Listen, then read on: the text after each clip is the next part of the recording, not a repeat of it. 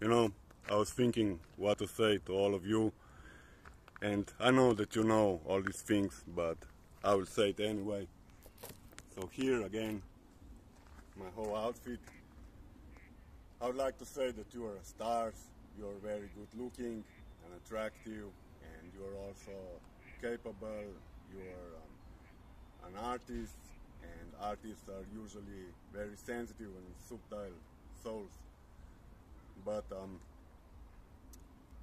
yeah, I would just like you to know that you are really good, really cool, and I like you, and I would like to spend holidays with you.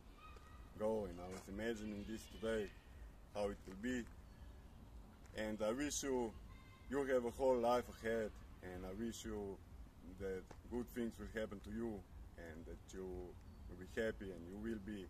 But you know, and we know that sometimes the time comes when we are just down and it's nothing to be done. And we just need to go to let the time pass and then things will be better.